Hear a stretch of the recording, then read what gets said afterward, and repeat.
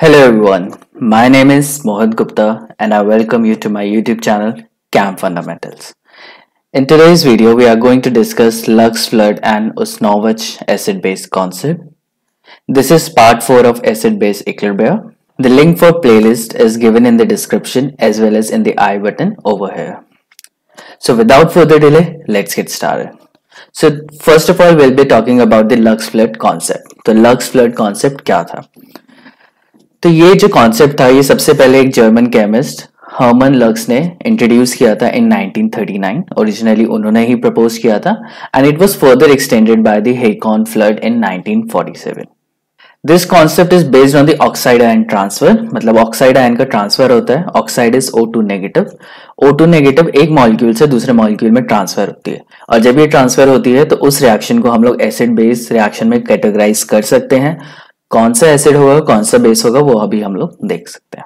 According to the Lux Flood concept acid क्या होता है? Acid is oxide ion acceptor कोई भी एक मॉलिक्यूल जो ऑक्साइड आयन को एक्सेप्ट कर रहा है, उसे हम लोग एसिड बोलेंगे। And bases are consider as oxide ion donor कोई भी मॉलिक्यूल जो ऑक्साइड आयन को डोनेट कर सकेगा, उसको हम लोग बेस बोलेंगे। और जो एक्सेप्ट कर रहा है, उसे एसिड बोलेंगे अब ये ऑक्साइड क्या है? Oxide is O two negative molecule ठीक है? ऑक्सीजन है और उसके ऊपर टू नेगेटिव चार्ज है। मतलब ऑक्सीजन का एक एटम है और उसने दो इलेक्ट्रॉन ले रखे हैं ऑलरेडी तो उसे ऑक्साइड बोलेंगे सिमिलरली पर ऑक्साइड और सुपर ऑक्साइड भी होता है। पर ऑक्साइड में ओ टू टू नेगेटिव होता है। मतलब दोनों ऑक्सीजन का एक पर ऑक्साइड लिंकेज होती है। सिंगल बॉन्ड से जुड़ा होता है, जैसे पर ऑक्साइड लिंकेज बोलते हैं। और दोनों ऑक्सीजन के पास एक एक इलेक्ट्रॉन एक्स्ट्रा होता है। सुपर ऑक्साइड में O2 मॉलिक्यूल होता है और जब वो एक इलेक्ट्रॉन ले लेता है तब उसे सुपर ऑक्साइड बोलते हैं। तो यहाँ पे हम लोग बात करें ऑक्साइड की हमें पर ऑक्साइड और सुपर ऑक्साइड से कोई लेना देना नहीं है। सो so, एक एग्ज़ाम्पल लेते हैं। यहाँ पे मैंने लिया carbon dioxide carbon dioxide oxide ion को एक्सेप्ट कर रहा है यहाँ पे और क्या बना रहा है? कार्बोनेट आयन तो इस कार्बन डाइऑक्साइड ने ऑक्साइड आयन को एक्सेप्ट किया तो इसे हम लोग बोलेंगे acid calcium oxide on dissociation क्या प्रोड्यूस करता है? Calcium two plus ion plus O two negative ion तो ये ऑक्साइड आयन रिलीज़ कर रहा है। रिलीज़ कर रहा है तो मतलब ये क्या हुआ? बेस हुआ। एक और इंपॉर्टेंट चीज़ मैं बता देता हूँ यहाँ पे। हमें ऑलरेडी पता है, जो नॉन मेटल ऑक्साइड्स होते हैं, वो एसिडिक होते हैं और जो मेटल ऑक्साइड होते हैं, वो बेसिक होते हैं। अब इन दोनों को अगर मैं कंबाइन करूँ रिएक्शन को तो मेरा ऑक्साइड आयन से ऑक्साइड आयन कट जाएगा। Calcium oxide reacts with carbon dioxide to produce calcium carbonate तो इसमें कैल्शियम ऑक्साइड किस तरीके से एक्ट कर रहा है? बेस और कार्बन डाइऑक्साइड किस तरीके से एक्ट कर रहा है? Acid let's take few more examples SiO2 on reaction with calcium oxide produces CaSiO3 अब देखो ऑक्साइड आयन यहाँ से यहाँ पे ऐड हो गया। क्या बन गया? SiO3 टू नेगेटिव और कैल्शियम टू पॉजिटिव अलग सिंस कैल्शियम ऑक्साइड डोनर है तो इसे क्या बोलेंगे? बेस और SiO2 एक्सेप्ट कर रहा है तो ये क्या होगा? एसिड तो SiO2 is acid and CaO is base दूसरी तरीके से भी देख सकते हैं, ये मेटल ऑक्साइड है तो ऑब्वियसली बेस होगा और ये नॉन मेटल ऑक्साइड है तो ये एसिड होगा। So let's take one more example यहाँ पे बेरियम ऑक्साइड कार्बन डाइऑक्साइड के साथ रिएक्ट करके बेरियम कार्बोनेट दे रहा है। Now here we can say barium carbonate ने ऑक्साइड को डोनेट कर दिया किसको? कार्बन डाइऑक्साइड को और कार्बन डाइऑक्साइड कन्वर्ट हो गया कार्बोनेट में।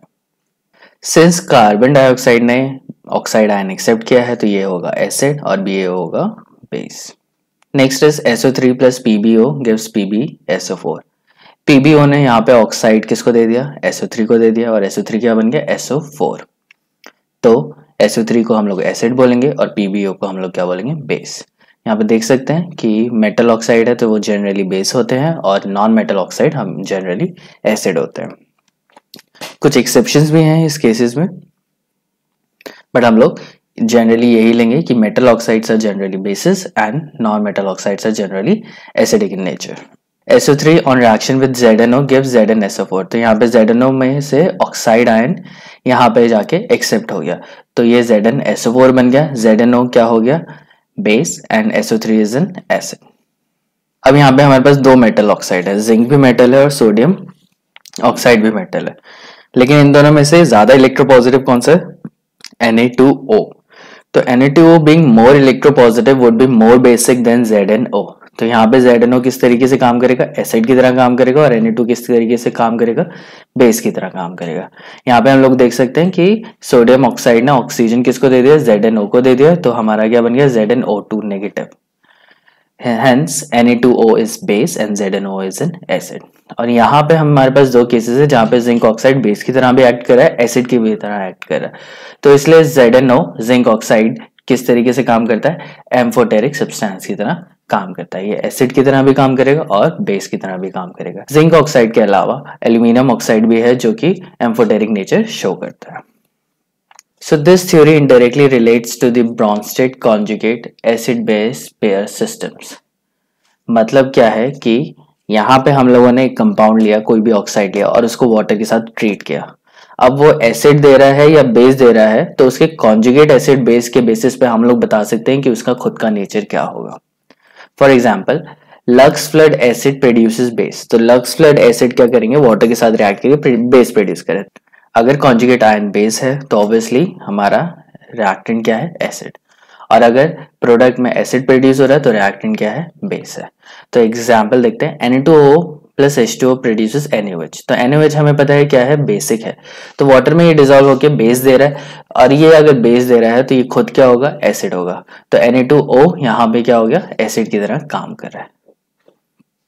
एक और एग्जांपल लेते हैं P2O10 जब वाटर में डिजोल्व होता है तो फॉस्फोरिक एसिड प्रोड्यूस करता है। तो फॉस्फोरिक एसिड क्या है? एसिड तो P4O10 यहाँ पे किस तरीके से काम कर रहा है? बेस की तरह काम कर रहा है।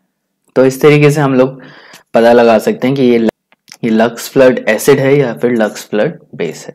Next we move to the advantages तो इसका एक इंपॉर्टेंट एडवांटेज ये है कि ये एनहाइड्रस रिएक्शंस जहाँ पे वाटर इन्वॉल्व नहीं है, उनके लिए ये एप्लीकेबल है। Useful for anhydrous reaction in fused melt of oxide तो ऑक्साइड मेल्टेड फॉर्म में है, उनके लिए ये काफ़ी ज़्यादा इंपॉर्टेंट थ्योरी है। More it is also applicable for reaction जो कि मेटलर्जी में होती हैं, जहाँ पे ऑक्साइड आयन का ट्रांसफ़र होता है। एक मेटल को लेकर दूसरे मेटल को ऑक्साइड या रिड्यूस किया जाता है, वहाँ पे भी ऑक्साइड आयन का ट्रांसफ़र होता है। ये रिएक्शंस बहुत हाई टेम्परेचर पे होती है, वहाँ पे कोई सॉल्वेंट जनरली नहीं होता है तो इसलिए ये थ्योरी वहाँ पे बहुत अच्छे से एप्लीकेबल होती है। अब इसकी लिमिटेशन क्या है? लिमिटेशन ये है कि ये सिर्फ़ ऑक्साइड्स के बारे में बात कर रहा है। H C L H two S O four इसके अकॉर्डिंग एसिड बेस नहीं है। तो ऐसे रिएक्शंस जो किसी सॉल्वेंट में हो रही है या फिर किसी वाटर में हो रही है, उनके पास प्रोटॉन है, उनको ये कैटेगराइज नहीं कर पाता है कि वो एसिड होगा या बेस होगा।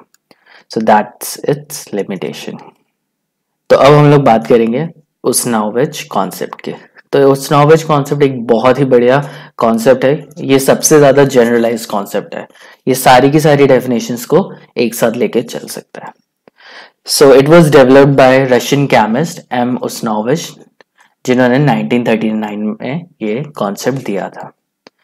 Here is the image so this is one of the most generalize definition जो कि सारे के सारे एस्पेक्ट्स एसिड और बेसिस के कंसिडर कर लेता है। इस कॉन्सेप्ट का कोई लिमिटेशन नहीं है। सारी रिएक्शन चाहे वो रिडॉक्स रिएक्शन हो या नॉर्मल कोई भी रिएक्शन हो एसिड बेस में कैटेगराइज की जा सकती है। So for the very first time उन्होंने रिडॉक्स रिएक्शन को एसिड बेस रिएक्शन में कैटेगराइज किया था। इससे पहले जितनी भी थ्योरी आई थी, वो कि कोई भी रिडॉक्स रिएक्शन को एसिड बेस की टर्म्स में नहीं बता पाई थी। तो ये इसकी सबसे बड़ी एडवांटेज है। तो एसिड देख लेते हैं क्या होता है। एसिड कोई भी ऐसा मॉलिक्यूल हो सकता है जो बेस के साथ रिएक्ट करे। ऑब्वियसली अगर कोई बेस के साथ रिएक्ट करे तो एसिड ही रिएक्ट करेगा। ये एनायंस और इलेक्ट्रॉन एक्सेप्ट करते हैं। जैसे अभी हम लोगों ने पीछे ही देखा था कि वो ऑक्साइड आयन एक्सेप्ट कर रहे थे। तो वो ऑक्साइड क्या है? एनायन है। तो अगर कोई भी मॉलिक्यूल एनायन या इलेक्ट्रॉन्स एक्सेप्ट कर रहा है तो वो एसिड होगा। और अगर वो केटायंस फर्निश कर रहा है, अगर वो रिलीज़ कर रहा है केटायंस तो उसे भी हम लोग क्या बोलेंगे? एसिड बोलेंगे। और बेस क्या होंगे? इसका जस्ट उल्टा। तो बेस क्या करते हैं? They reacts with acid obviously they also accept cations तो अगर जैसे एसिड एनायंस एक्सेप्ट कर रहा था तो ये क्या करेंगे? केटायंस एक्सेप्ट करेंगे. And at the end they furnishes anion और इलेक्ट्रॉन्स और वो एनायंस या इलेक्ट्रॉन्स फर्निश करते हैं. तो हम लोग देख सकते हैं कि यहाँ पे जो इलेक्ट्रॉन एक्सेप्ट करते हैं, वो एसिड होते हैं और इलेक्ट्रॉन जो डोनेट करते हैं, वो बेसिस होते हैं. तो ऑक्सीडेशन रिडक्शन की पूरी डेफिनेशन यहाँ पे इंक्लूड की जा रही है. Let's take a few example SO3 है और Na2O है, जो कि Na2SO4 दे रहे हैं। यहाँ पे हम लोग देख सकते हैं कि ये ऑक्साइड आयन कहाँ डोनेट होगा? यहाँ पे तो SO3 एसिड है और ये बेस है। तो ये तो हमें लक्स फ्लड से पता है। तो अब इसमें देख लेते हैं। Na2O जब डिसोसिएट होता है तो दो sodium ion plus O2 negative ion release करता है। अब यहाँ पे देखो, यहाँ पे पहले भी ऑक्सीडेशन स्टेट प्लस वन थी, अभी भी ऑक्सीडेशन स्टेट प्लस वन ही है। तो सोडियम का कुछ नहीं हो रहा। हो क्या रहा है कि यहाँ पे ऑक्साइड आयन रिलीज़ हो रहा है। और ये ऑक्साइड आयन ऑक्साइड आयन कहाँ एक्सेप्ट हो? यहाँ जाके एक्सेप्ट हो। सोडियम जैसा था, वो एज इट इज़ वैसा ही है। तो इस तरीके से हम लोग बोल सकते हैं कि NO2 क्या डोनेट कर रहा है? O2 नेगेटिव एक एनायन डोनेट कर रहा है। तो और जो भी एनायन डोनेट करते हैं, वो क्या होते हैं? बेस होते हैं। दस Na2 इज़ बेस SO3 ये क्या करेगा? ऑक्साइड आयन को एक्सेप्ट करेगा। तो सिंस SO2 सिंस SO3 एक एनायन एक्सेप्ट कर रहा है तो इसे हम लोग बोलेंगे acid next is Na plus C L two is giving us NaCl तो ये तो एक नॉर्मल रेडॉक्स रिएक्शन है। सोडियम ने अपने इलेक्ट्रॉन दिए। क्लोरीन को और क्या बन गया? सॉल्ट बन गया NaCl अब ये जनरली एसिड बेस्ड रिएक्शन तो नहीं है। फिर भी ये एसिड बेस्ड रिएक्शन कैटेगराइज की गई है as per Usanovich sodium on dissociation on ionization क्या प्रोड्यूस करता है? दो इलेक्ट्रॉन सिंस ये इलेक्ट्रॉन प्रोड्यूस कर रहा है तो इसे हम लोग बोलेंगे बेस और क्लोरीन इलेक्ट्रॉन एक्सेप्ट कर रहा है तो इसे हम लोग बोलेंगे एसिड तो Na is furnishing electron base हो गया। तो Cl2 यहाँ पे इलेक्ट्रॉन एक्सेप्ट कर रहा है तो इसे हम लोग बोलेंगे एसिड एक और एग्ज़ाम्पल लेते हैं। FeCN2 जब KCN के साथ रिएक्ट करता है तो ये एक कॉम्प्लेक्स बनाता है। अब एस तो मुझे नहीं पता चल रहा है ये एसिड या बेस है, लेकिन जब हम इसका स्टेप वाइज मैकेनिज्म देखेंगे तो हम लोग देख पाएँगे। KCN क्या प्रोड्यूस कर रहा है four K plus ion plus four C N negative अब देखो के प्लस का जो ऑक्सीडेशन स्टेट है, यहाँ पे प्लस वन है और यहाँ पे भी प्लस वन है। तो के फोर रिएक्शन में इन्वॉल्व नहीं हो रहा है ये एक स्पेक्टेटर आयन है, जो कि बाहर से रिएक्शन को देख रहा है। तो के प्लस सिंस इन्वॉल्व नहीं हो रहा और के क्या प्रोड्यूस कर रहा है, एक नेगेटिव आयन प्रोड्यूस कर रहा है और जो भी नेगेटिव आयन या इलेक्ट्रॉन फर्निश करता है, उसे क्या बोलते हैं हम लोग? बेस तो के क्या हो गया? बेस हो गया। एफ़ टू चार सी एन नेगेटिव को एक्सेप्ट करेगा और किसमें कन्वर्ट हो जाएगा? एफ़ सी एन सिक्स तो ये एनायन एक्सेप्ट करे एनायन एक्सेप्ट कर रहा है तो इसे क्या बोलेंगे? एसिड तो पिछले लक्स फ्लड में क्या था कि उसे ऑक्साइड एक्सेप्ट करना है। और यहाँ पे क्या बताया जा रहा है कि ऑक्साइड नहीं, कोई भी एनायन अगर वो एक्सेप्ट करे तो भी वो एसिड है। So this is it for the today's video आज हमें इतना ही पढ़ना है। If you like the video then please hit the like button thank you for watching this is Mohit Gupta signing off have a great day